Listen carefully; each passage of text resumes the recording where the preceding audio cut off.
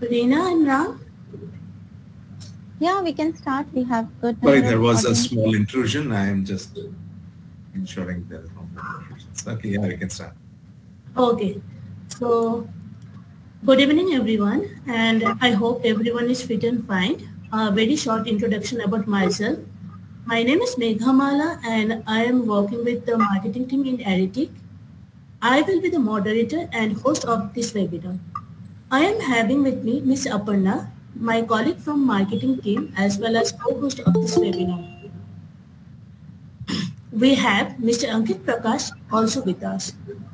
Ankit is the principal founder of EasySendy and Aritic, a full stack integrated sales and marketing automation platform for the B2B small and medium enterprise brands. Uh, hi everyone, good evening. Uh, looking forward to today's discussion. Welcome to our seventh live webinar of Aritic Live and today's topic is Disrupt the Funnel, funnel and Scale Revenue Teams with Marketing Automation. Now, coming to a small introduction about our company Aritic. Aritic is a unified marketing automation platform for the B2B business team. Our parent company is Data Aegis Software Private Limited a Bangalore-based company that started operation in 2015 with two major SaaS product platforms, that is EasySendy and Aritic. EasySendy is focused on SME and SMB business. Aritic is focused on customers from mid-enterprise and enterprise.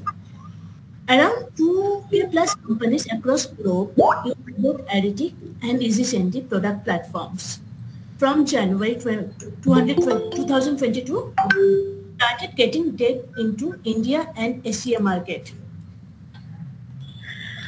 Okay, so now coming to today's webinar that is Aritic Live. So we are trying to bring professionals close to Aritic platform with Aritic Live. It is an online talk show for marketing, sales, business development, product leaders and work professionals the talk show include webinar, on-demand webcast, podcast, and live event from Aritic and partner networks. Over to you, Megha. Yeah. So coming to the topic, uh, we all know what if we could easily scale our business team. 10x our business prospect, guest prospect, and expedite revenue opportunities. Welcome to the conversation qualified era, where customers visit legendary customer experience team can scale individual attention and AI-powered conversion always guide potential buyers to the next best step. So we can tell conversational AI facilitates deep two-way discussions across email, SMS, WhatsApp, chatbot channels, raise sales ready contact and qualifies lead for the next stage of customer life cycle.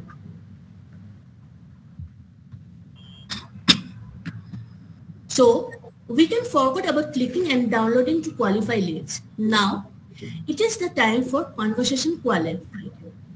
To do a deep, in, deep dive into today's discussion, we came up with this new Aritic Live webinar, Disrupt the Funnel and Scale Revenue Teams with Marketing Automation. Okay, so we all know conversational AI is the set of technologies behind automated messaging and speech-enabled applications that offer human-like interaction between computers and humans. Now, conversational AI combines natural language processing, that is NLP, with traditional uh, software, with chatbots, voice assistants, or an interactive voice recognition system to help customers through either a spoken or typed interface like SMS, email, WhatsApp voice, etc. In Aritic, we are capable of doing all of these local integration in one platform itself.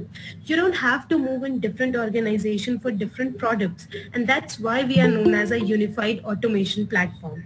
Therefore, I would uh, like to tell all our audience and everyone that uh, Aritic is a unified marketing automation platform for B2B and D2C business both.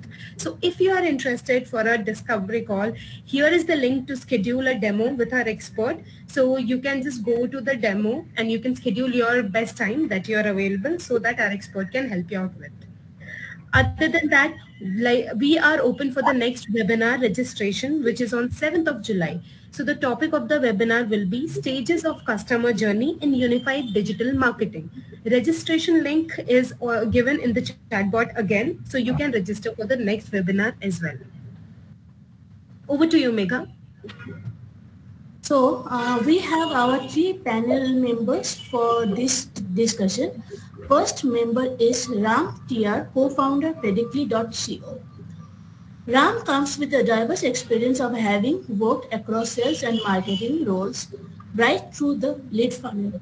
His experience spans over 25 years of corporates, agencies, and startups.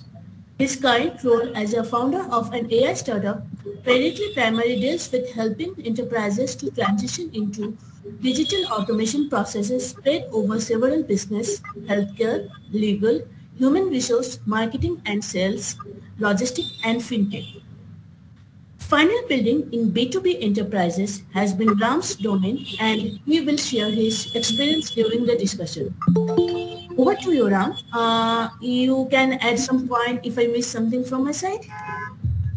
Hey, thanks, uh, Megha, uh, Megha Mala. So it's been uh, a pleasure to join you people, uh, and uh, I would love to share my experience today. And thanks for the platform you guys have given. Uh, we will talk about lead management, lead funnel development, how, uh, because uh, from historical perspective, I've been doing lead generation for over 20 years now. So how things have evolved in front of my eyes, how things have changed is a big uh, learning. I, I, for it'll be a big uh, revelation for most people.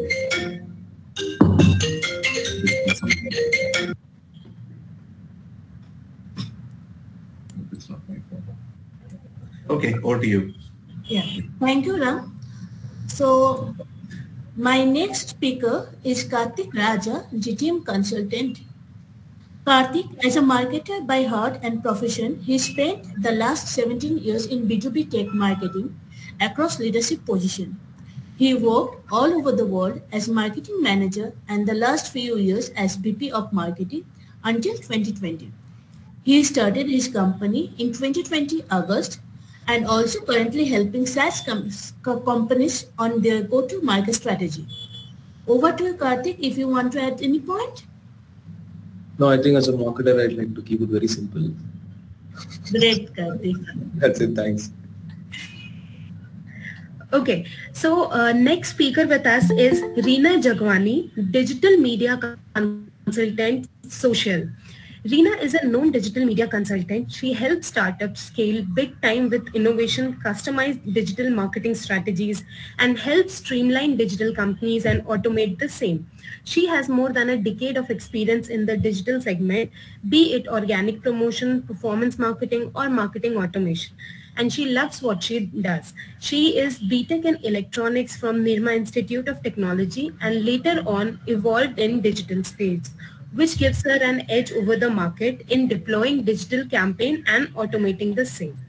Over to you, Reena. If I have missed out anything, uh, you can just go ahead and let us know more. No, you have not missed out, but I would definitely like to add something more about it. So basically digital marketing has evolved over more than a decade now, be it global or even in India. And then automation is something uh, which comes like a boon, a blessing in disguise to the marketing campaigns because whatever platform we work on, be it Google, Facebook, Instagram, they are themselves deploying AI big time. And uh, apart from this, the third party platforms, uh, uh, like your platform also, uh, which helps a lot in drip marketing. We can discuss that in little later in the webinar. So that really helps me automate uh, the campaigns and maybe when I work with startups, my entire activity, entire things that I do automates in a year's time and I real uh, I relax. So initially I have to do a lot of work, I automate things and then it's like my work is over. So yes, we can say that robots are replacing humans and that is what uh, kind of life I'm really living and enjoying in this startup segment. Correct. Looking forward to the webinar. Okay, sure, so uh, before starting the discussion, I would request all of our audience to put your question in the chat. We can, within the discussion, I mean the topic, whatever we will be going on, so we can discuss it uh, simultaneously. So we can start our discussion round. Now, I will like to ask one question whenever we are discussing about this funnel and AI automation. How does the approach to the marketing funnel need to e- evolve? Uh, Ram, you can. Uh, Yeah. Okay, so in my uh, tenure as a marketer, uh, let me give you a historical perspective about Yeah. how uh, it was earlier and how things are changing right in front of our eyes, right? So earlier, about 20 years ago, when I started, 20, 25 years ago, when we started marketing, it was prime, uh, there was very little email marketing done. There was very little uh, digital marketing. Even digital marketing was new when we started. So it all began with what we call as direct marketing. Okay. So in direct marketing, we had a lot of uh, mailers, you know, hard mailers that you would send out to people. You send out uh, a, a letter or a postcard, for instance, and expect them to free, fill in and say, okay, I'm interested in your product. And we would wait. And based on the response, we would pick up the call and make a call because uh, or uh, that was one way of reaching out to people. The other way of reaching out to people was telephony, right? You would call them up. It was primarily cold calling, like you get today from various banks and for loans, right? So even in B2B, you would do a lot of cold calling and say, okay, well, I would, you know, can I talk to you about my product? And it was like with zero awareness and there was no concept of you know awareness it was awareness lead generation retention all those things it was all mixed into one script and you would make the call outbound call. Uh, and the outbound call there was no concept of you know call centers then. It was primarily the sales guy calling out and setting up a meeting and setting up trying to figure out when we can meet. So it was so messy. But the best part is people were more inviting at that point of time. When you make a phone call, people would say, hey, come on, let's have a chat and discuss. But the number of marketers today have grown significantly and people are saying, hey, wait, I don't want to take your call and let me kind of space out. Let me wait. I don't want to, I don't have time now. I'm busy with meetings. So people are getting busier as we go along. So they're saying, okay, let's wait. I don't want, uh, I, let me uh, introduce. Then they came, then they started introducing uh, the concept of gatekeepers. So earlier, I could go and talk to the CXO or CEO company, and easy, and it was easy peasy, right? So they would just say, okay, let's let's have a chat, let's uh, and have a discussion. Let's see what you have in what you have to offer. But the number of calls, number of people increased, and say, okay, now they have a gatekeeper. The gatekeeper could be the receptionist, the gatekeeper could be a personal secretary. And then getting through that gatekeeper was becoming very difficult. okay. And that became the next stage of marketing, right? So that is when you say, okay, then digital marketing came in. Email marketing came up big time. So you would start sending, you get hold of the emailer, email address of the person, Mhm. and it would go directly to his inbox and say, okay, now let me uh, understand where will I get, uh, uh, can I get a discussion with him on the email? Can I get a response from him on the email? Even that became very crowded. Then they started introducing spam filters, right? So anything coming out from there, let me, that is spam filter is nothing but a gatekeeper. Yes. So you have this concept. So every time marketers keep finding out a method to reach, you have a gatekeeper installed so that, you know, they can not, they need not deviate from their core work of getting things done and leave all the uh, essence of, you know, uh, marketing, you know, understanding the decision making taken during marketing left out to someone, someone else down the order. Then this concept of you know all your website that you know when people go on the website you engage with them all this started that we call loosely called as the conversion rate optimization part seeds. You know or your website gets automated. When i come to this page it gets triggered. When i go to that page uh, pro you know uh, a poll kind of come pops up you know you can you answer this so all this came up in the last few years where people, websites got busier and busier and you started, uh, you know, people wanted more engagement on the website. So things became so messy and things like that. And that is one aspect of outbound or uh, when companies try to reach out to consumers or to the decision makers within organizations. The second thing is uh, about the organize. I'm sorry, I'm taking some more time. No, it's okay. Uh, if other panelists may want to jump in, they can. Uh, but what uh, the on the other side, on the flip side, uh, from the receiver side, from the uh, organization perspective, earlier there was one person who would take the call, maybe the CXO as we call it. Then we, then it became more and more complex, saying, okay, my role as a CXO, uh, I have a CFO now, I have a CTO, I have a C, chief marketing officer, chief operations officer, operating officer, and so on and so forth. So each became their own decision units, decision making units within the organization.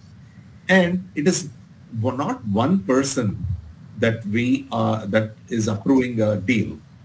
It is just that it becomes like a multitude of people, a team of people who are mm-hmm. approving one deal within an organization. I cannot approve unilaterally within the organization. I need to take a consult with someone else. So the, as a result, what is happening is uh, a B2B decision making is distributed across the organization. It is not mm-hmm. one person who's taking the call. It is a team of people. For instance, let me give an example of uh, in my in one of the organizations that I work for, uh, a London-based firm. I was part of the marketing board, as we call it. So the marketing board had to take a decision on, let's say, whether to buy Pardot or a HubSpot kind of a, a which marketing tool, automation tool to buy.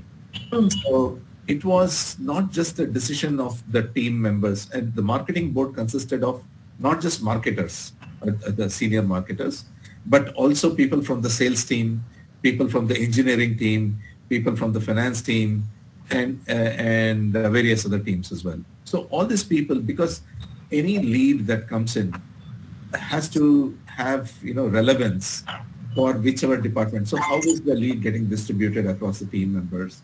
How is the lead getting processed over the time? What is the conditions? Uh, it is not just banting. You know, BANT is basically budget, authority, need, and timeline. That is what was there earlier as a qualifier for lead. But now, uh, there are several other aspects of, you know, lead qualification that companies need to do. So when I look at it from what a typical company does and what how a process of decision making happens within a company, it is not one has to understand the other con, other aspect very deeply. One has to follow what is the seller doing. The seller has to understand what is the buyer doing. So that buyer seller interaction across the funnel. And when I say the funnel, funnel is basically, uh, in my concept, funnel is a three-dimensional, is like a a time-space continuum of a decision leading to a certain goal, mm. a vector, I would call it, where you have uh, people talking about uh, awareness at the top of the funnel, mm. and, uh, some kind of a decision making us to narrow down decision of whom to, whether to purchase in the middle of the funnel, and then you have a financial discussion at the bottom of the funnel, correct? So across the time space continuum, and it happens over the period of time, not everybody within the organization are at the same part of the funnel. Let us say I'm talking to Infosys as a company. Some people are at the bottom of the funnel, some people are at the middle of the funnel, some people are at the top of the funnel. Yeah. Same time. Unless until there is some kind of a uni, unison of understanding of what's happening about the particular deal, it is very difficult to close. And the second thing is there are a lot of, um, uh, you know, I'm going on and on. So what I would do is I'm trying to kind of summarize the yeah. understanding of the funnel and my understanding of what B2B challenges are. So I've taken about uh, five, seven minutes, I think, on this first fun, uh, funnel question. So I hope I've been able to make an impression about what my, what, how funnels have evolved over time. I will ask the next panelist to take on from here and answer their perspective. Okay?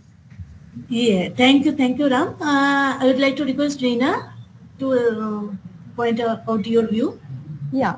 So uh, as per my understanding and my experience, when I started working into the digital segment, the industry was divided into two major segments, marketing and sales.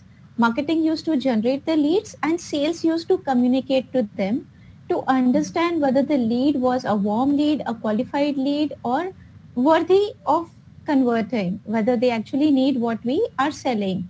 But then this entire sales gamut has been taken over by AI now.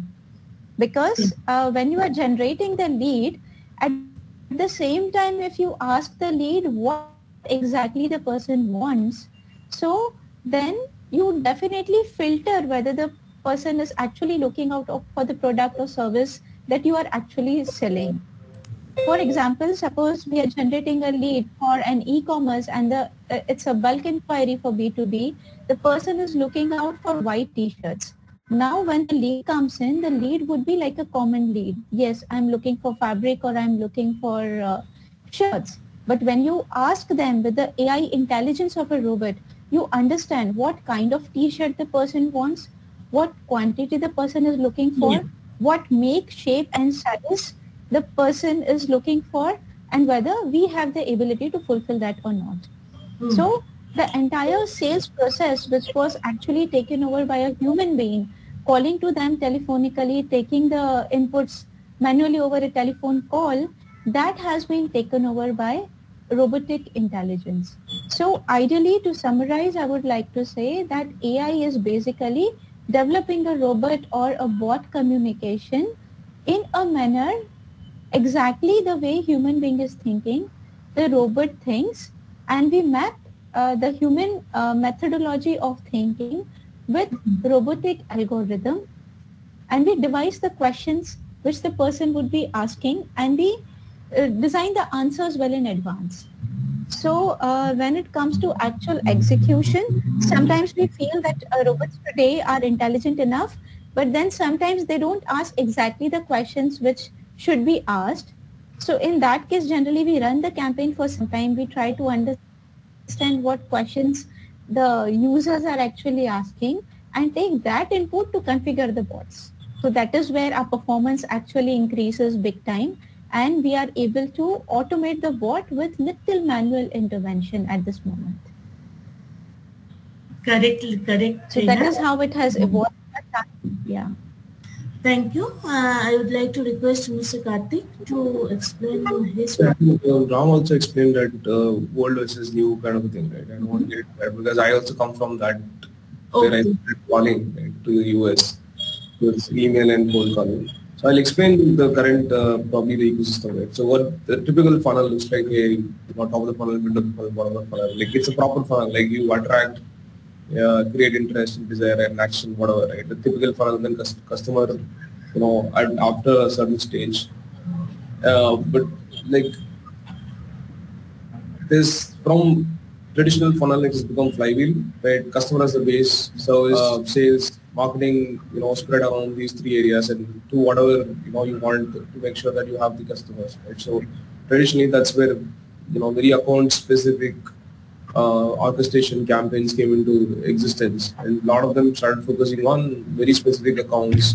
Uh, because I from come from a B2B, I mean, I think Reena's explained about uh, B2C. I come from a complete B2B background, SaaS. Um, so yeah, that's one evolution, right? In terms of the current evolution, I, I see a lot of people talk about dark social, dark funnel. Like there's so many things that there's no direct attribution to any of what we are doing or or any of what traditional companies are doing. The successful companies I see mostly, they're everywhere, right? When I say everywhere, there is no direct attribution. You can't say that hey, I'm going to write a blog. Okay, somebody is looking for a particular keyword and they go read the blog and then, you know, get download a couple of white papers and then read a case study and become a customer. Like we're, we're going to buy the product, right? That's not, that, probably that was earlier, but not anymore, right? I'll give you a simple example, right? Okay. Uh, so in a in a situation like this, right? So your audience is in your audience is B2B and they are in LinkedIn, right?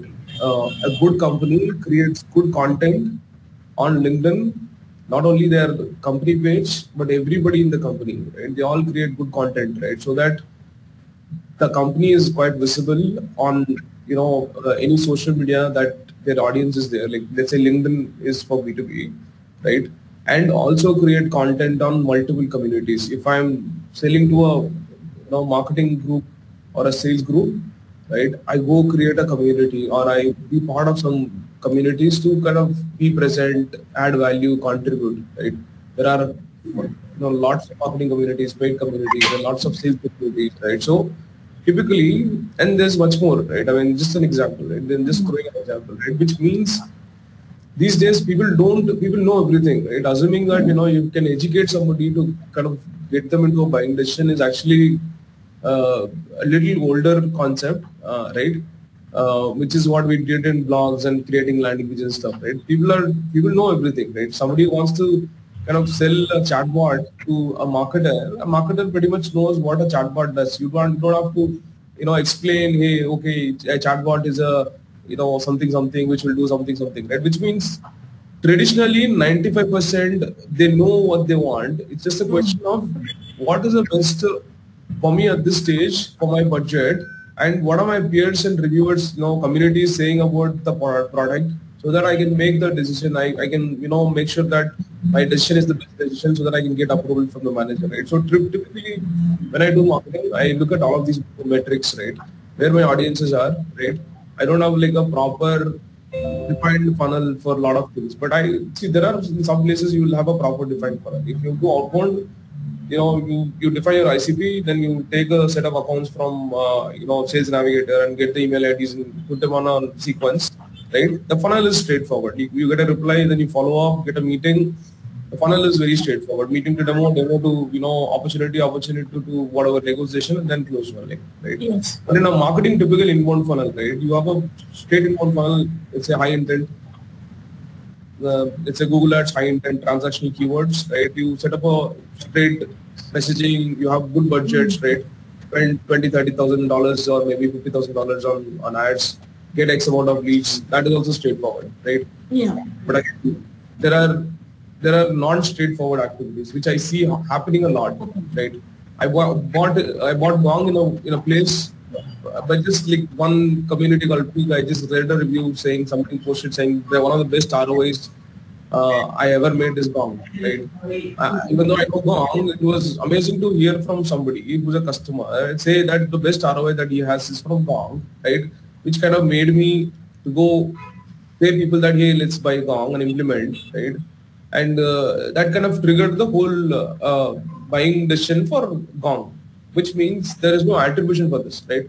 So traditionally, um, lot of influencing, especially in SaaS, is also happening using brand and you know whatever we are doing, you know, externally like this, right? Dark social, mm-hmm. right? You you should be present wherever your audience are, and then make sure that you create enough content and visibility for them to decide faster and decide they decide on the best uh, time to buy the product and not to miss it. Right? That's it. So that is the transition. Uh, but how do they call it right now? There's no proper structure right now. But I think it will evolve. Somebody will define. Somebody will give a name, right? But for me, that the attribution is like this, like this, like this. It's like not the standard thing, right? Like like how our uh, stock market is right now. Like one day it like so the attribution yeah. is like okay, it's like up and down here, there, there. One day LinkedIn content I saw, then a community one message I saw, right? Then I other day I saw an article, PR uh, fundraise article, right? Another day one colleague had talked about uh, the product, right? Then I went to G2 review and like read about the product in detail. I saw a couple of videos, their, their employee engagement videos on LinkedIn and then by the time I like the product and the company so much, right, I want to work with them. So typically, like I said, you know, attribution is if you have all of these in mind and you work things properly, uh, you, you, kind of kind of changes come and then I think adoption will also come with a lot of countries as well. That's my thought process. Correct. Uh, since like uh, we are talking about the evolution of the marketing funnel and also Ram told us about all how it was there in back uh, like back in hmm. before 20 years and then now how it is how it is evolving so i have a question related to that what are the traditional barriers to B2B marketing funnel experience right now? I mean, what are those traditional barriers that we are facing? And if you can also take us through some case study or something. So, uh, Reena, uh, yeah, okay. Sorry. Ram, if you want to take this question, yeah. No, that's okay.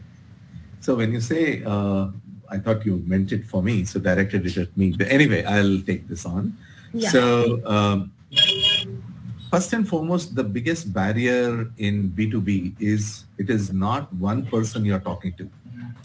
It is a group of people, like I mentioned, whom we are talking to for any, whether it's a financial deal, whether it's a tool, whether it's a marketing or software to be sold, or if it's an infrastructure that has to be sold. So you're talking to multiple people within an organization because within the organization, they're, they all come under what we call as influencers.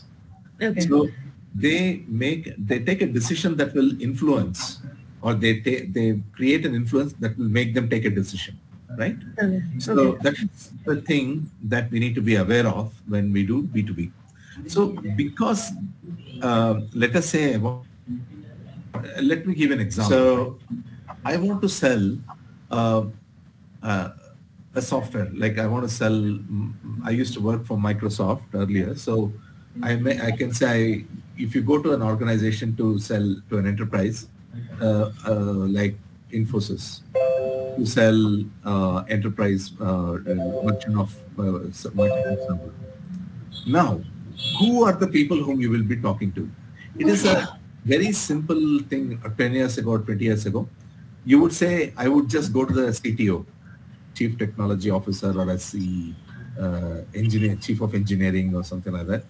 Those days, uh, usually the CTO. You would go tell him, okay, this is what you need to buy, and that guy would kind of buy the product and say, okay, that guy would say, he would take it on to, like the proposal, hand it over the uh, over to the CFO, and say, okay, let me buy, let me uh, make the decision, and it will be a million dollar deal signed, and there'll be a big party, and everyone wins.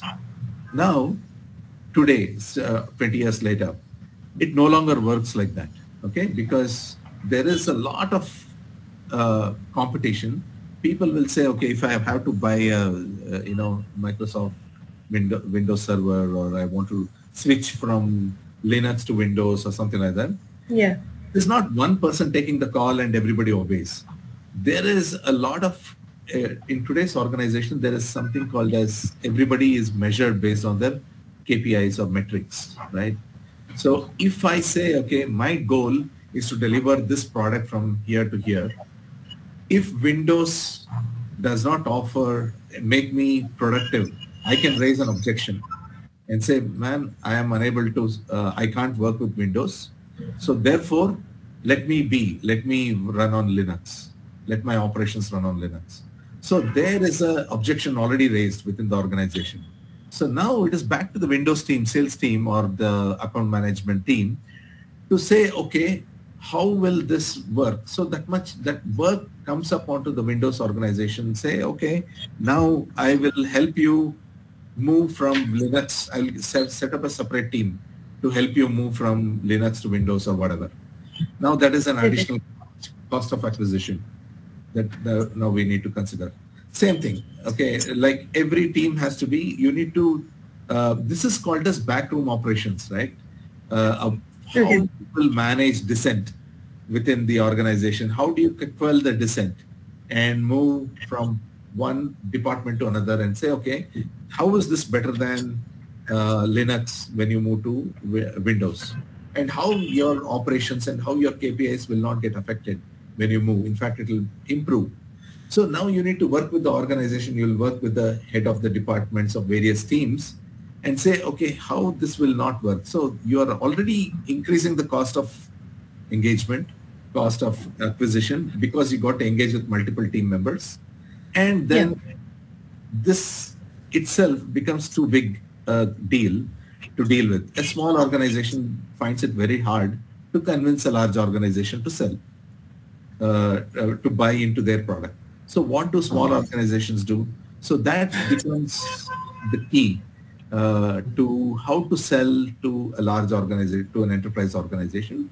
Uh, so typically what you do is you piggyback on Yeah. some other tool or some other uh, integrated software. Let's say somebody's already using SAP or somebody is already using Salesforce. You say, okay, I will create a small API which sells on their marketplace and you can integrate it as an additional feature.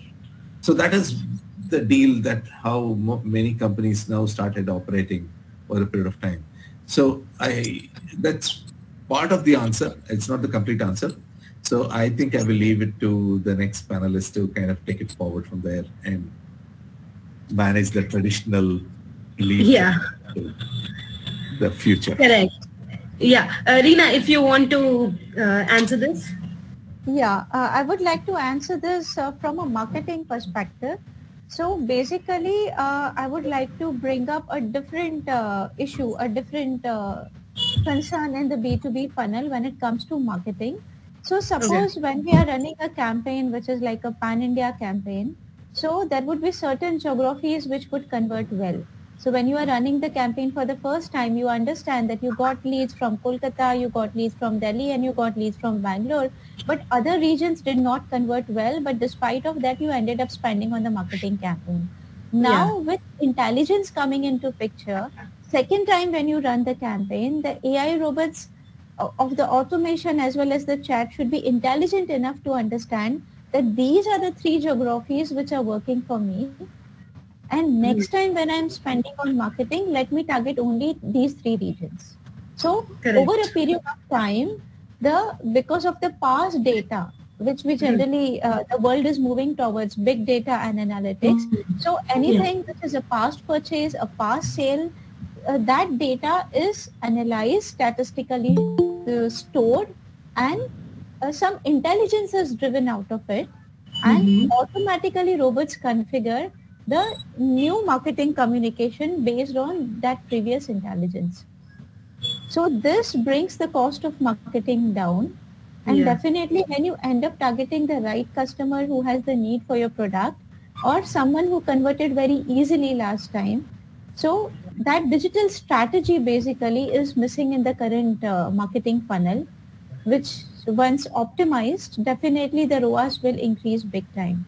And also this thing not only helps in uh, converting the user once, but later on it uh, helps communicating with the same company again and again with any of the upcoming requirements. Because B2B generally the uh, advantage is the same people end up buying products from you n number of times in a year. Because somebody who's buying raw material would end up buying or subscribing to the product maybe 12 times in a year or more than that. So this intelligence definitely helps scaling big time. So I would highlight that digital strategy is something, strategical thinking is important. Yeah. So we can say that retention is moreover increasing with the intelligence. Yes, retention at the same time the cost of acquisition comes down Yes, because once you know the converting geographies, you end up uh, spending your monies more frugally at the right locations that convert well for you. Yeah. Correct. Uh, Karthik, if you want to add anything to what Reena and Ram said. Can you come back to the question? You said in, uh, challenges in B2B. Yeah. So, uh, uh, what are the traditional barriers to B2B marketing funnel experience? Traditional, can you elaborate traditional barriers? What do you mean by Tradition, traditional? uh, traditional barriers in the sense, what are the main challenges in the B2B funnel experience what we, we are facing in as Same B2B problem, traditional- the same problem, the leakage, funnel leakages, right? It is the, it is the single biggest problem as far as I know, right? It is traditional, it is still there, it will be there, right? The biggest problem that you have is you put so much of top of the funnel and then comes out uh, like, like you know how it is, right? From here it will come down to here and then like drop here, right? So t- typically that problem is still very, very heavy uh, most of the early stage companies that I focus, I, I consult on, right? They want to start and creating, you know, they want to start with, uh, a, I want leads, I want leads, I want leads, right? They'll focus on leads and stuff, right? But at the same time, a lot of them, you know, fail to focus on quality uh, versus quantity. A lot of them focus on quantity they're not ICP focused. Okay, I want leads, I want MQLs, right? That's the biggest challenge that I see, MQL driven. So now I, in a couple of companies that I work with, we moved away from MQL driven to pipeline driven, right? So marketing is responsible for pipelines. Like I'm going to qualify until a certain stage and give it to sales. So sales can actually take those leads and close them because they, they can't tell me that it's no more an opportunity because you have the recordings, you have the call recordings and Gong, you have a handover process properly defined, you have a qualification criteria like Ram said temp or a BANT criteria, right? And then you have a sales uh, qualification criteria defined properly on Salesforce like SQL, SQL 10, SQL 20, 30, 40, 50, 100, right? So which means the handover you know, in some cases I see that when you do that, it becomes much more, marketing will become much more uh, um, matured and also uh, not being questioned. I've seen like you know, not a lot of questions versus, you know, very focused on a lot of MQLs because end of the day, same same problem, marketing sales fight, uh, funnel leakages, um, then quality versus quantity, right? Uh, reporting only on you know traffic and uh, you know leads and stuff like that right? They're they're they're there like still there. So the first thing that i generally uh, tell people is to fix those things right, right? then uh, then comes uh, then comes the automation. Like how do you fix all of this is by uh, by very simple automation. Like for lead quality you, you create an enrichment um, integration with clearbit or something else right? Which will qualify those leads for you then you automatically say that this X will X, you know, 100 million revenue will go to sales A or 200 million revenue company will VP of marketing will go to sales B and stuff like that, right? I think uh, it's important to also, and then of course after this, 90% of the companies that I work with, they all have the same problem, right? The, the lead follow-up time is two days, three days, four days, sometimes one week, right? Um, so it, uh, you have to make sure that you have to reach a you know lead in 30, 30 minutes. Now the era of you know following up with leads is gone. Like generally you book them uh, either on a conversational bot as soon as they are in, a, in the website. Uh, if they are interested to talk to you, right, you should find a way to make sure that create a playbook and then book a meeting directly or show them the calendar so that they can talk to you, right? Or maybe, you know, have a video call enabled feature and then they want to call you put a put a guy and then talk to them, right? So a lot of people, I would say, lack common sense, uh, including me, marketers, right? Uh, so having a proper common sense also will help. Like there's nothing, as I said, no, technology has come a long way. B2C has evolved. B2B has not evolved. B2B marketing has become very boring. Uh, B2C has like tremendously evolved. Like Zepto, Zomato, the kind of content they create, no, it's quite amazing. But B2B is no, no, no, no. We'll only write very formal email. We'll only write very formal LinkedIn post. We'll say that, hey, okay, here is a blog post. Please go read the blog post, right? Uh, for me, that there's no logic to it. Okay, no, who's really, you have two likes in a blog post uh, on LinkedIn. Why are you still posting it? The, the question is that that right, like having that mindset change is very important. I think that is the biggest challenge. But apart from mindset change, these are the four five problems I said: quality problem, MQL problem, the the lead funnel optimization, like you know, drop off leakage problem, like lead not followed up in, in, in 30, 30 minutes or less than that problem. Uh, not measuring the overall funnel also. Marketers, 99% if I ask them one simple question, how many leads you've generated become closed one, none of them give, even not even a single guy gave me a correct answer so far. I probably worked with a lot of marketers, right? So that's the problem that as a marketer, you know there's no visibility and you know people are too focused on their own thoughts.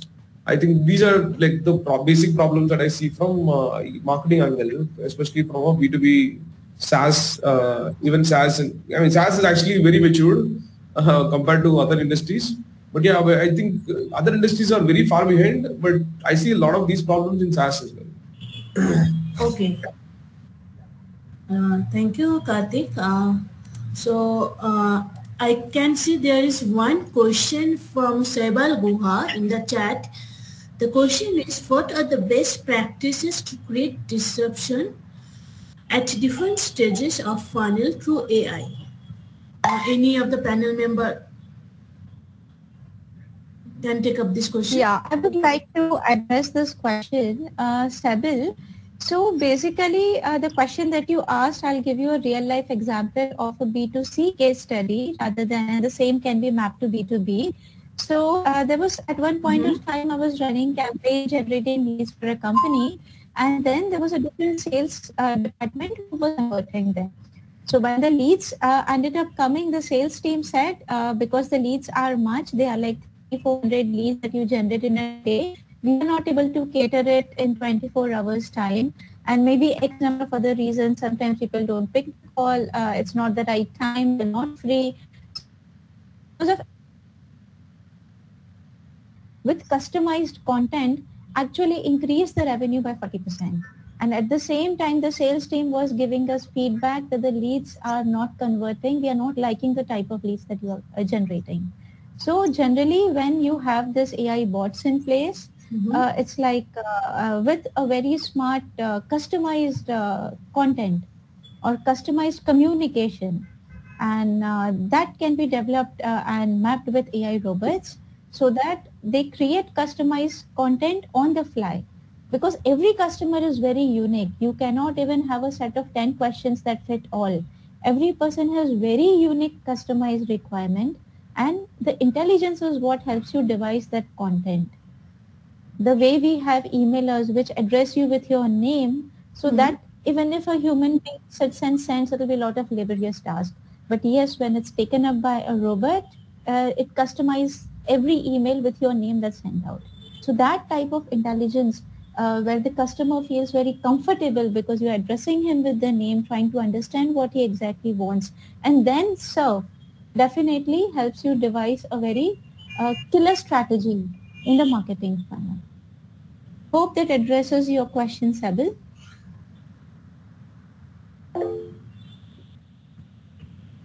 Yes, uh, Saibal has answered in the chat box. Yeah, thank you. Thank you, Rina. Uh, so uh, as we are talking previously about the leads, so my I have curious. I'm curious about another question. Uh, we uh, we I want to know what is a conversation qualified leads and how can we achieve it for a B2B brands? So basically there is a difference between, uh, uh, sorry, I'm continuing. Yeah, Ram, you can take it out. No, no, it's okay. Okay. So uh, there is something that we call marketing qualified lead and there is mm-hmm. conversational qualified lead. Yeah. So marketing qualified lead is any lead which is warm, which has a requirement. We call it marketing qualified lead. Now conversation qualified lead is a chatbot has communicated with the customer okay. to fetch his exact requirement. So yeah. it could be a granular level of requirement. Suppose somebody wants to buy a software, but then he wants to slice a software or wants to buy a slice of a CRM software or only a finance module or only a, a customer front end HR module so once you understand that uh, granular information, uh, capture that from the customer, it's called chatbot qualified or conversational qualified lead. Okay. And uh, yes, Ram, you would love to add to it? Oh, okay. No, I mean, uh, I was trying to give a perspective rather than an answer. Uh, my perspective is um, earlier, uh, I'll give you a, you know, I think Karthik alluded to it before, we used to have what is called as a sales qualified lead, right? So we eh, before marketing even came up, so it was always called a lead, and then you sales kind of qualifies it because there was nothing called as a marketing qualification earlier. So there was a sales qualification. That means that sales guy goes out and talks to the customer. BANT, banting it happens. Banting is basically BANT, budget authority need and timeline those questions are asked and the sales can, guy kind of asks, fi finalizes whether it's a lead or not. Then the thing changes change to uh, instead of why does this very highly paid sales guy does the qualification. So it the thing the handoff went on to uh, what is called as an inside salesperson. So basically a telephoning uh, guy would call up the customer and say, do you have budget authority need a timeline? So that became a sales qualified or a pre-sales or an inside sales qualified lead. And that handed handoff happened to the salesperson. and uh, that also became too difficult because you don't do cold calling uh, all the time. It's very expensive to do cold Mhm. calling. So marketing would, you know, ask some, you know, send out an emailer, they would respond, and then the sales would pick up, or they would uh, do something. So the marketing would, uh, you know, ask a question whether they are interested in the product uh, or uh, or the service. So if they said yes, I'm interested, then the marketing would say, uh, marketing has qualified this lead, and then hand it over to the uh, salesperson to close it. Hmm. But as uh, you know, Karthik alluded, that marketing does not do a great job of qualification because you know the time taken to uh, you know respond back by the sales guy would take phenomenal amount of time because see it is marketing and sales especially closing of the deal is all about timing. If i do not get ans- uh, get an answer at the right time by the by by which by i mean if i ask a question and if i close after if i respond back after 15 days the sales uh, the the buyer would have walked out to the competition or something like that. So I would, I would have lost the lead so the idea here is how do i kind of reduce this effort of the you know the response time uh, Hmm. the the uh, you know response back time. So basically chatbots came into play from that perspective. So how do i enable some kind of a ai bu- built ai driven chatbot to ensure that the handoff see there are there is a lot of thing called as a handoff alignment and a handoff between sales and marketing the marketing generates uh, the lead and hands it over to the salesperson. The sales guy said, man, this is not relevant to me. Why are you giving me this and making my, wasting my time? Because this is the thing that you always fight with the sales guys. I've given you 100 leads. You are not even figured out if these 100 leads are good. So inside sales will call 50 and say, man, this is all useless. It's all junk leads. They're useless and I just can't close it. So that's when AI comes into play. Okay. Conversation do will the AI do wh- wh- whatever the marketing. Uh, let's say the uh, person comes onto the website, he will answer a question. Then a chatbot will say, okay, he will ask all this BANT questions, or they will ask um, you know timing, ti- technology based questions. They'll ask the relevance, whether you know the or it'll have a conversation just like a human would do. Ask all the info- information that as marketing or the sales guy would have asked. And that process all that kind of gets processed and say okay this has got this is what the chatbot has qualified and you put a score attached to that. And there will be always this gap right? The sales guy will still say uh, this is incomplete and i still don't so that learning comes back to the say chatbot team they ask those further questions Yeah. so ultimately what will happen is you'll have a fairly engaged, a lot of, uh, s- uh, you know, uh, the, the bot becomes fairly engaging and fairly informative and fairly conversational enough to qualify, which a sales guy can take it over from there and qualify the lead.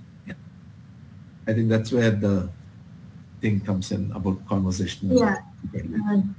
Uh, thank you, Ram. Uh, now I would like to request Karthik to point out Yeah, your to explain, I'll just give you one simple background of where where the sequel came into picture. Right? So you guys know Drift created this term called conversational marketing, right? so Drift also created a coined this term called conversational.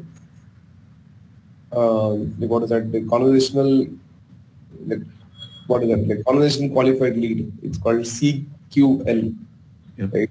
So what you call SQL is nothing, just straightforward. Like anybody who comes to the chat, uh, you know, either the bot qualifies them or a live chat person or, you know, anybody who's on the other side qualifies those lead, it'll become a SQL. That's it. Nothing like a, like, you know, simple mechanism, right? Anybody who shows interest, who, you know, who the bot captured, you create a playbook and bot is capturing information and then qualifying them, then they are a SQL. That's it. So no, uh, um yeah, that's the simple answer to it. Yeah. So just to add to that, what SQL uh, that Drift is saying, now MessageBird is saying the same thing as well, right?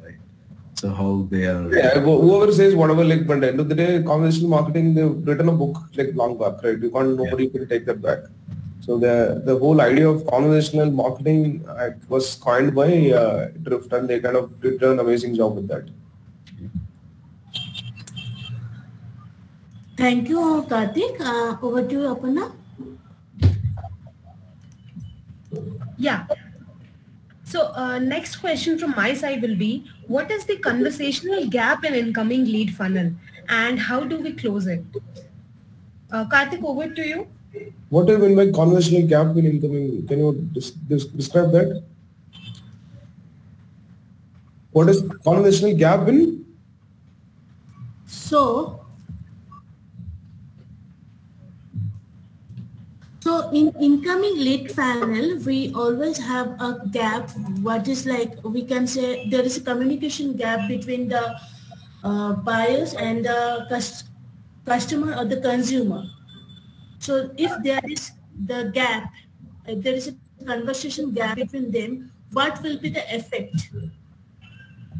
So your uh, end of the day revenue effect, right? So the biggest uh, the greatest marketers, uh, marketing, you know, world is run by marketers, right?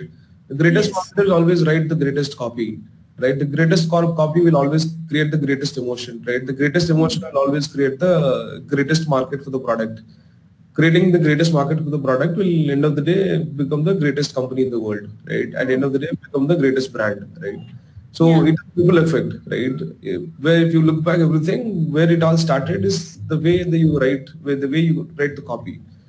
If if you have if you think that you have a gap in terms of what the customer wants and what you're selling, uh, right? The one thing that you go back and look at is erase everything right from scratch.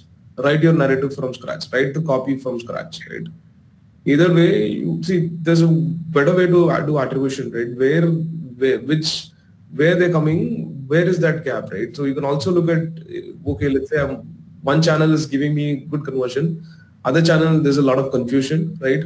Uh, so then it means that that channel, that particular channel, your copy is bad, right? Your website is, you know, people who's coming to the website and not able to understand, like now they're miscommunicating. There's a lot of communication gap, right? They think that you your product is uh, you you want. I mean, they there's there's a miscommunication right? Again it's attributed to copy only. So whatever uh, your icp uh, definition has to be very clear right?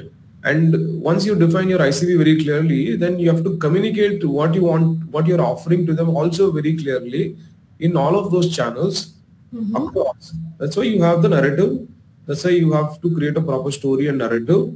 And okay use the narrative across, right? Like you can't like say one thing in one one place and the other one like something else in some other place, right? Which means as simple as let's say you're offering a marketing automation solution, like your example itself, right? You can clearly say that hey, we help small and medium businesses, you know, automate your entire thing. Like then you can also say that hey, we help you automate your so so we help you automate your HubSpot or whatever, right? Like you have to explain it very, very clearly and very simply, you know, very simple way, right? So, and that communication has to happen across all of all of the channels, right? And when that happens, I don't think there will be there'll be a confusion at all, right? There won't be any confusion in terms of the marketing efforts uh, they're putting in. Um, but otherwise, if your website is not clear, if your website messaging, 99% again same. Like you people want to talk about features a lot. Um, you know, people want to take, you know, people don't want to talk, you know, people kind of think they're communicating in a different way. But again, having a good narrative uh, and defining your ICP, you know, very early will help you. Uh, but again, as a marketer, again, opinions doesn't matter. Like only few times, like fine, fine. I mean, having a good narrative is is helping. But again, you have to consistently test your messaging also. Like you have to one day you have to change your copy, you have to do a lot of experiments, you have to always do A-B testing and figure out which is the better copy, what is converting, what is not converting. And attribute also where that conversion gap is there and kind of do the attribution and then figure out, right? So the, yeah. the, the, the problem here is that if that is the case, you have a problem with the copy. There's nothing else. Just go change the copy. So that's a simple solution. Okay. What do you, Rina? Yeah, I would like to uh, present it in a simpler manner. Mm-hmm. Basically, suppose we want to sell a product and the company has a sales guy. Uh, so basically, the more informed the salesperson is, he would be able to sell the product more proficiently. Suppose Yes. your sales guy is more equipped enough, has a better understanding of your product, uh, the USPs of the product, what your product does, uh, what problem it's going to uh, help users solve it. So uh, suppose you have two sales guys. One sales guy is a pro at the product inside and other is not. So definitely the person who's more informed will bring more sales. So same thing is with uh, the robots. So uh, at the moment when we are devising a robotic communication, we are keeping it very basic. We are just trying uh, to put four, five questions in the mind of robot to address and communicate with the customer. But the more informed your robot is, uh, he'll be able to communicate better with the customer and convert the customer better. So that is the gap. So basically when we are customizing the robot, it has to be more intelligently done so that this gap which we are facing in the recent times, that can be bridged. And uh, uh, in case if you want to make it even more intelligent, definitely big data insights can be mapped so that uh, the robot can work like a human brain and take very automatic uh, decisions and right decisions in that case. Thank you, Reena. Uh, over to Ram. Ram, please explain. So my take would be uh, about uh, the conversation. See, I have already explained this in the sense that a lot of uh, handoffs align and alignment challenges happen in a B2B uh, setting, right? It is not uh, it is not linear. Means I give the lead, somebody takes the lead and takes it over, right? It is not that simple. So in B2B, there is, we are talking to an organization with multiple decision minds. So how do you align all their outlook about your product? How do you give, how do you feed the message to them? How do you feed in information to the, all of them, bring them up to speed about the product? So that everybody is able to kind of understand what the seller is trying to do.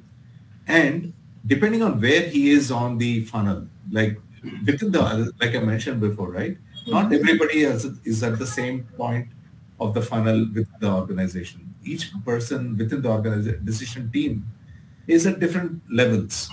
So how do you bring them up and say okay descent management?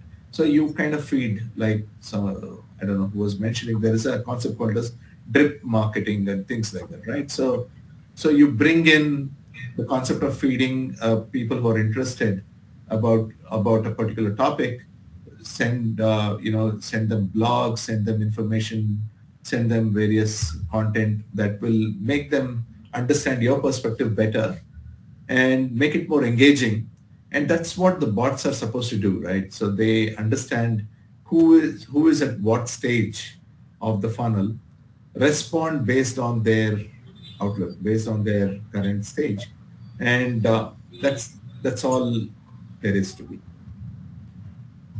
Okay. Thank you, Ram. Uh, now, I have a uh, question where uh, in case of conversational gap, we can see that there are two type of uh, marketing uh, automation, what is traditional and what is AI. So my question is to the panel member, what is the difference between traditional marketing automation and AI marketing automation and uh, how it can help the conversation gap? Over to uh, Ram. okay uh, like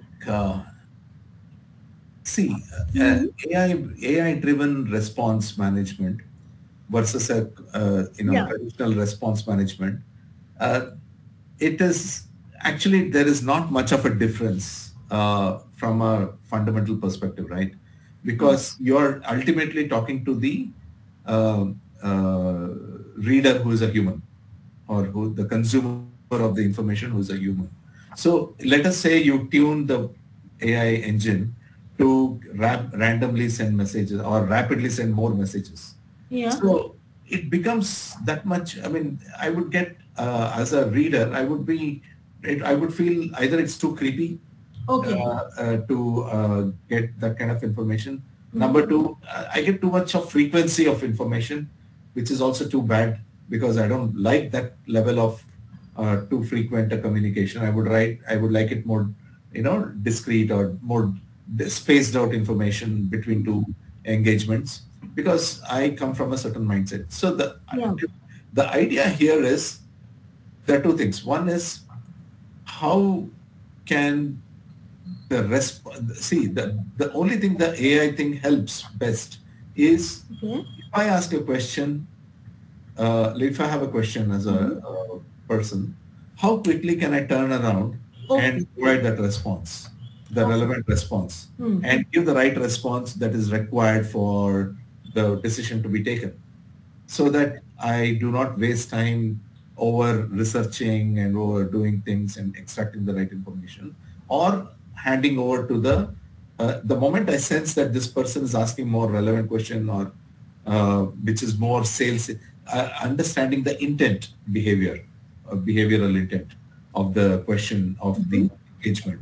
So for instance, I have built uh, AI bots which kind of predicts, I've trained, not built rather, trained Yeah.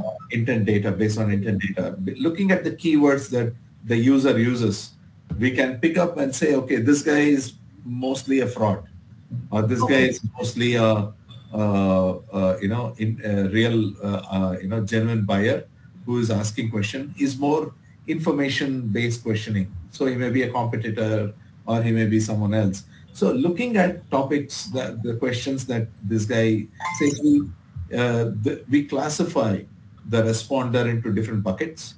And depending on that, we kind of allow the bots to take over and say, okay, this guy is a genuine buyer. This guy is more like an information seeker. This guy is more like a fraud. This guy is more like a competitor and so on and so forth. So we kind of, it's easier to bucket Okay. these people and then act upon the, uh, the right response. Hope that, which is not possible in, uh, in a traditional marketing setup. Thank you, Ram. Uh, over to you, Karthik. No, I think uh, you answered the question. Uh, so if you have another question, you can move on. I'll let Lil- Leela answer. Uh, okay, Rina, you would like to answer? Okay. Yes, yes. So basically, it's a very interesting question. And in marketing, we have different campaigns uh, uh, that we can classify as traditional marketing and AI-driven marketing. So traditional marketing is the first campaigns that we set up on digital marketing, where we uh, filter the audience based on the demography, the location, uh, the age group, and a certain uh, in, interest based on users persona. Maybe the person, uh, if I'm selling a sports product, I would see that the person has interest in sports or uh, sports goodies, or maybe is an athlete or uh, is accessing sports news channels online. So that is the traditional kind of marketing. One more layer of marketing that has evolved in recent years is AI driven, which generally we call remarketing campaigns, which are based on that particular logic. So suppose somebody is shopping on e-commerce and has put a product in add to cart and just disappeared. Or there are audience who has just initiate checked out and Mhm. they have disappeared. Now with this remarketing, we uh, generally run campaigns and show the same products to the same users which they have engaged with in last 15 or 30 days. So you might have also experienced that you might have put some uh, products in add to cart in some of the website and they follow you on internet wherever you go till you end up purchasing them. So that's one kind of AI which has been like uh, added and it really uh, works well because that is something which is a filtered product according to your customized choice. You have only put it in the add to cart basket and it's just following you to complete your transaction. So that kind of marketing actually uh, brings in more intelligence and definitely increases the conversion and brings the cost of acquisition down. So same thing can be done with bots. So Mhm. this is just a simple marketing example which I gave you. So there's very fine line. They are all marketing campaigns. But Okay. yes, AI is coming with little extra uh, intelligence over the traditional marketing. So there's, uh, I'll give you a simple example. Like uh, if you're done dinner, Yes, please. so so there's a company I was working full time, right? So basically we want to um, we're booking about 10 meetings from uh, Drift, right? Uh, there's good traffic, 100,000 plus monthly traffic, or 150,000 monthly traffic, right? The we want to increase the uh, conversion and you know make sure that a lot of people book demos, right? So you when you look at a lot of it's the same logic as copy, right? So how can you increase conversion? And you can definitely increase conversion in in a in a bot, uh, in a conversational bot. If you look at it in a uh, let's say again a logical way, right? So then for, first it has to be triggered, right? And then the trigger has to create a curiosity, right? It, it depends on a, again um, in a conversational. I think Reena is a better person to kind of even say that, right? In a conversational way, you don't have to sell. You don't. You have to just create a conversation, right? People don't understand that they'll try to sell uh, in email, in phone calls, in WhatsApp, in a chatbot, right? Yeah. You can't sell. It is a. It is called as conversational, right? So if you create a conversational playbook, you have a much better chance of conversion, right? That is one point. The other, and then you know when we did that, no, then we looked at data. Hey, how many times the bot has been triggered, right? How many people clicked on you know sales, or how many people clicked on marketing, all of that. No, then we optimize for that. Then that 10 went to 50 or 60. That's one way of looking at things, right? And in a B2B model, right, every lead is important. To reduce CAC, to reduce CPL, right? Let's say you you run campaigns, you drive traffic to the landing page, right? And you have a seven, eight fields uh, in the form. Uh, generally, people don't tend to you know fill all of those fields and stuff, right? Which means they will have a lot of drop-offs at each stage of the funnel also, even for a traditional uh, you know, Google Ads or whatever, you know, campaigns or webinars or whatever you're running, right? Which means uh, a conventional trigger can actually increase the conversion if you kind of think logically. Again, right? How do I make sure that? And some of the bots, I think I worked with Insent, right? There, there it can even do an IP resolve and tell you that, hey, this person from X company has come in now, so go talk to him now, and then it will tell you push that information in Slack so that you can actually ping him, re- respond back and say that, hey, Karthik, welcome to Insent, and just talk to them and then convert, right? And the best way to convert a lead is is at the moment, right? Not like Yeah. go back and follow up using a call or a, or a LinkedIn follow up or, or email, right? Somebody who's on the website, it's always good to kind of catch hold of them and then talk to them and figure out, right? They'll either say yes or no, which means the whole idea of you have a lot of, you know, problems will be solved that way, right? So either with the bot or with live chat, like both ways, right? So you, you can't do you can't do one and then it is a combination, right? So you if you know how to use the bot and if you know how to use it properly, uh, there are other like lot of lot of personalized ways also triggers and everything you can do. Uh, and then of course you know we all know the cookie right. So anybody who's not a lead, uh, you don't know them. But anybody who's a lead, you can easily find out as soon as they come in on the website. Like you can easily trigger a message saying, "Hey, Mega, welcome back," something like that, right? So it's yeah. much more personalized, right? That lead uh, can be uh, triggered. Like you, you also know that that lead has engaged and probably had a score of 50 plus or 60 plus, right? Which means that person, you can say that, hey, last time you read about the ebook, right? Here is a case study for you, similar. Like, just take this and like you know, uh, let me know if you need any help, right? So those kind of personalized uh, level of thought process will help you improve the overall conversion. And I, I think there are other use cases. I'll please stop it. Stop it. Thank you, uh, Karthik. Yeah. I would like to add one thing here. So in the earlier days when digital marketing came into inception, we always used to compare it with offline marketing. So suppose somebody is going in a store to buy something, the seller has an ability to convince. He has a convincing power to sell the product and service. But when you talk about digital, the buyers are not in front of you. So talking to somebody who's not in front of you and making them convert is even more challenging. So with this AI conversational bots and AI conversational activities that have come into uh, place, they are removing the drawbacks of digital marketing and giving a more human interaction online to the customers so that they convert better. Okay. Understood. So uh, as we are having a time constant now, I would like to thank you all our esteemed panel members for this insightful discussion. But uh, I would like to request Ankit also to share his idea about what he is thinking about disrupting the funnel and scale revenue teams with the marketing automation. Hey, uh, thank you so much. Thank you so much, Ram, uh, Reena, and Karthik. A lot of uh, detail and and journey through uh, journey through last 20 years. Yes, uh, so even I have been into this very same journey. So uh, I was working with Wipro back in 20 2011, and I I was involved into migration of old Unica to Marketo and uh, that is where I came to understand about this marketing uh, automation industry and this has been there for last 25 years uh, even more than that actually. So have seen whole of the evolution curve since then and uh, had read about how how the evolution has happened. And since beginning on uh, our platform when we started conceptualizing how do we scale it across the disruption along the digital channels so we figured out that each each three years and 2.5 years, uh, one more uh, one more channel of communication emerges across the marketing and and marketing uh, need to uh, need to engage their audiences across those channels.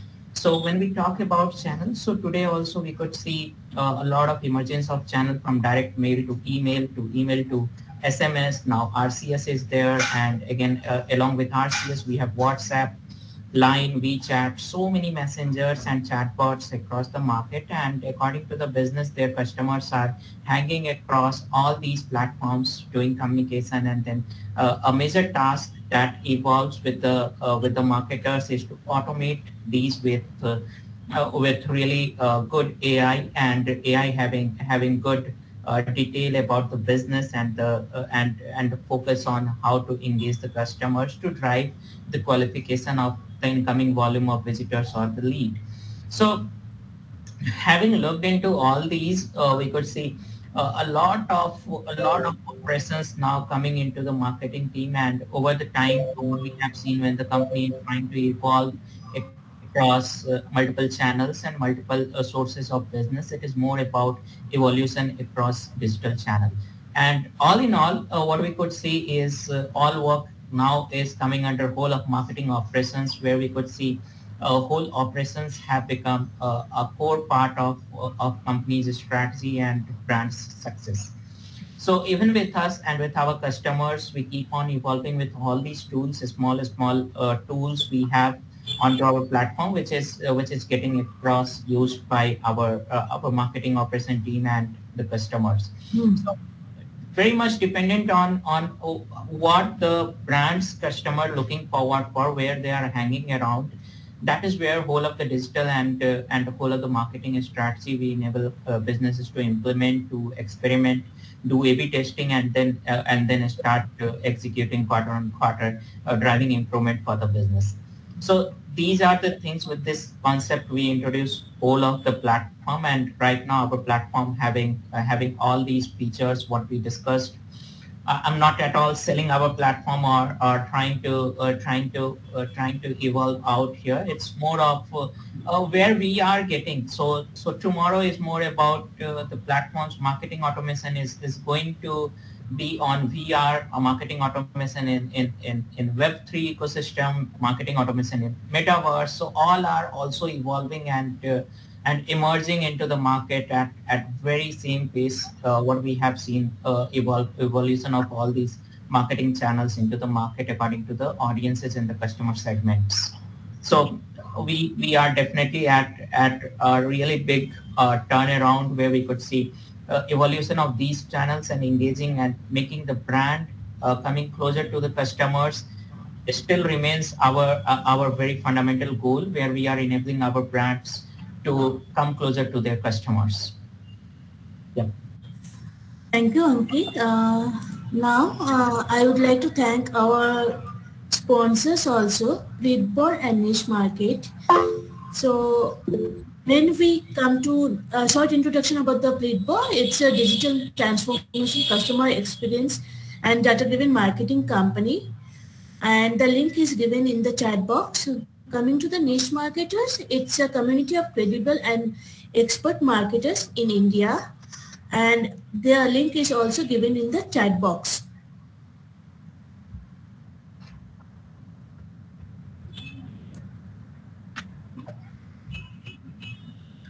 Okay, so uh, thank you.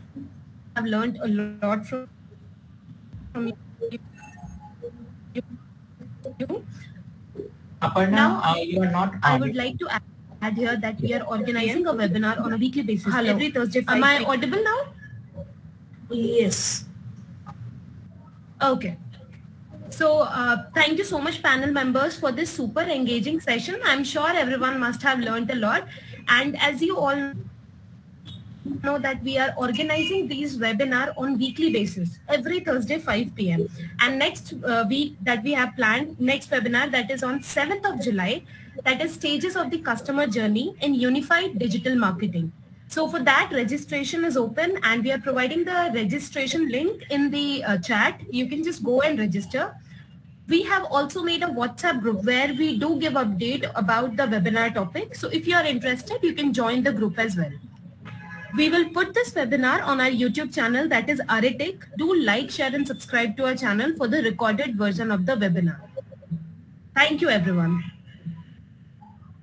Thanks for the opportunity, guys. Bye. Thank you so much. Thank you everyone once again. so, Thanks.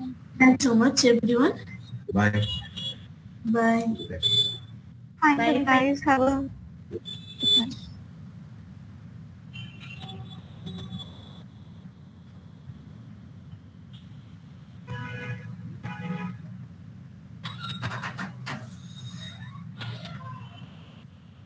Amit and Dharmesh, you can leave the call.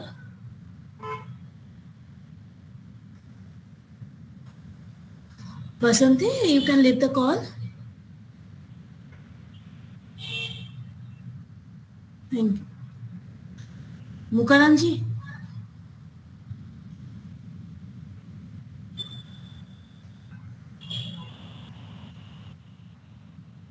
Ajay.